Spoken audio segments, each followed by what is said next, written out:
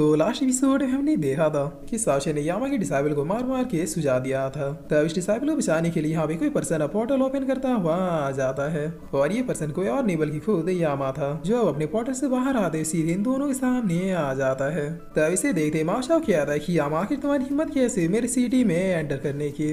मैंने पहले कहा कि मैं तुम्हें और तुम्हारे लोगों को देखना भी पसंद नहीं करता, जिस पर साशे ने भी अब यामा की ओर देखते हुए किया था कि वो तो ये है यामा, जितना इसके बारे में सुना है उतना कमीना तो ये सकल से लग भी रहा है। तब यामा कह रही माशा मुझे तुमसे कोई प्रॉब्लम नहीं है, और ना ही मैं तुम्हारे से बेलू के साथ यहाँ पे जाम लगाने आया हूँ। मुझे बस ये बास्टर्ड लड़का चाहिए। अगर तुम बीच में नहीं आओगे तो फिर ये मामला बहुत ही शांति से निपट जाएगा। तब साशा नब इसकी ओर देखते हुए अपने मन में सोचता है कि मैंने एक्सपेक्ट नहीं किया था कि पर्सनली यामा इतनी जल्दी आ जाएगा। लगता है इसी वजह से अब मेरे प्लान में थोड़ी डिस्टर्बेंस होंगे। इस सिटी में आने का मेरा मेन मकसद ये था कि माशा को डिफीट करने के बाद मैं उससे वेपन मांग लूँ। लेकिन अब लगता है प्लान थोड़ा बदलना होगा, जिस वक्त अभी अब आसमान में किसी बहुत ही जोरों से हंसने की आवाज़ सुनाई देती है।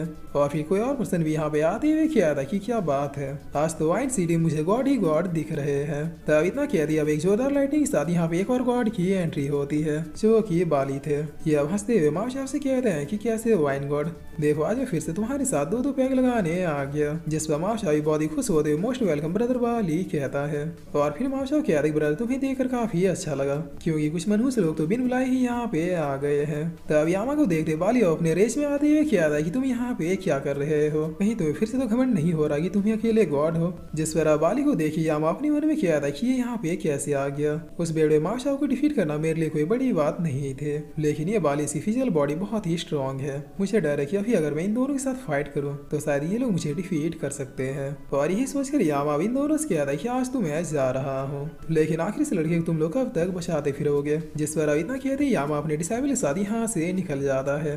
तब बाली अब साथ होते हुए किया कि कितना बोरिंग कन्वर्सेशन था। मुझे लगा यामा के साथ एक अच्छी खासी फाइट होगी। जिस पर बाली सावचन के पास आते हुए किया कि मेरे ख्याल से तुम ही हो सावचन। तब सावचन भी यस कहते हुए किया कि जी सीनियर लेकिन आपको कैसे पता? जिस पर बाली किया था टेंशन मत लो, तेंजी पोलिन का मास्टर मेरा भी फ्रेंड है। उसी ने मुझे तुम्हारा नाम बताया था और कहा भी था कि जब तुम अपने सामने एक नौजवान लड़के को गॉड लेवल के पर्सन में फील करोगे तो समझ जाना कि वो नौजवान कोई और नहीं, बल्कि सावचन है। तब सावचन भी अब रिस्पेक्ट दिखा देता है सो मच सीनियर बाली कहता है, जिसके बाद सावचन अपने मन में सोचते हुए किया था कि आखिर ये तेंजी पोलिन का मास्टर किस टाइप का आदमी है? क्या वो मेरे एंटी सबको बता के मेरी हेल्प कर रही है या फिर मेरे खिलाफ कोई षड्यंत्र रच रहे हैं? जो भी हो, मुझे एक ही कदम फूक फूक के उठाना होगा। तब माशा क्या ब्रदर बाली वो यामा तो गया। चलिए अब हम लोग साथ में मिलके दो दो पैग लगाते हैं। वैसे अगर आपको पता ना हो तो ब्रदर साशे ने मुझे पीने के मामले में डिफीट कर दिया, जिसे सुने बाली कह रहा है कि मुझे पता है कि ये लड़का हर काम में एक्सपर्ट है। और हो भी क्यों ना, आखिर फ़ील्ड के मास्टर इसे अपना सक्सेसर चुना है। जिस पर अब यही सब कहते बाली इन दोनों को लेके अब अंदर ओर जाते हुए क्या कि चलो पहले पीते हैं, उसके बाद ही बात करेंगे। तब सीन चेंज होता है, हम यामा के उड़न खडोला को देखते हैं। जहाँ पर यामा बहुत ही गुस्से में किया था की आखिर वहाँ पे बाली क्यूँ आया था? क्यूँकी जहाँ मैं बाली को जानता हूँ, मुझे देखकर कभी इतना एग्रेसिव नहीं होता।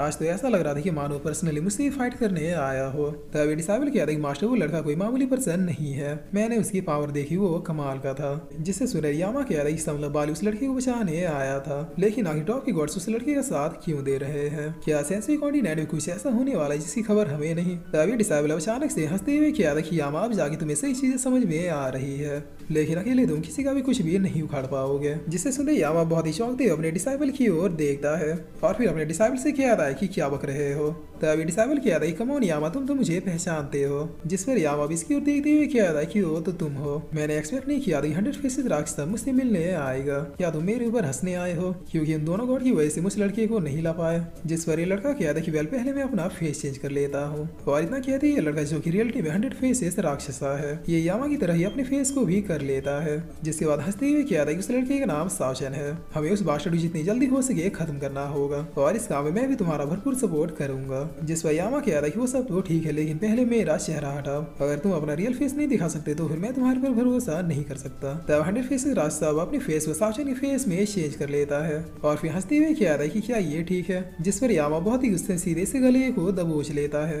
और फिर बहुत इरिटेट होते हुए कह रहा है क्या तुम्हें ये सब मज़ाक लग रहा है? तब रास्ता कह रहा कि नहीं, दरअसल ये बंदा बहुत ही हैंडसम है। इसीलिए सोचा कि एक बार इसके फेस को भी ट्राई करो। जिस पर राज साहब अपने रियल फेस में आते हुए कह रहा है ब्रदर, शांत हो जाओ। मैं तुम्हें वो सारी चीज़ें बताता हूँ जो मुझे पता चली है। तब अब सीन चेंज होता है इधर हम इन तीनों को देखते हैं। जहाँ पर बालिया बहुत ही खुश होते हुए क्या देखिए, आज मैं कितने दिनों के बाद इतने चैन से पी रहा हूँ। वाकई में भाइयों के साथ बैठ के पीने का मज़ा ही कुछ और है। तब माशा क्या देख ब्रदर बालिया आप रियलिटी में ब्रदर शासन के लिए आए थे? क्या मैंने सही कहा? क्योंकि आप करीब नौ सालों के बाद मेरे सिटी में आ रहे हैं। जिस पर बालिया अब खड़े होते हुए क्या कि, बिल्कुल सही शराब तो मुझे पीना ही था, लेकिन इसके साथ ही मुझे इस लड़के से भी मिलना था। और फिर बालिया अब शासन से क्या कि, मैंने सुना ही तुम एक फ़िज़िकल कल्टीवेटर हो। अगर ये बात सच है तो चलो आ जाओ दो दो हाथ हो जाए, क्योंकि मैं भी एक फ़िज़िकल कल्टिवेटर हूँ।